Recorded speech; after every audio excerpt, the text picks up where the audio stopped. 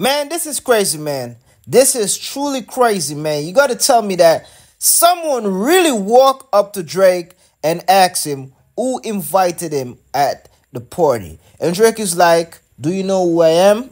Man, listen, before I even go into further details, let me just say this.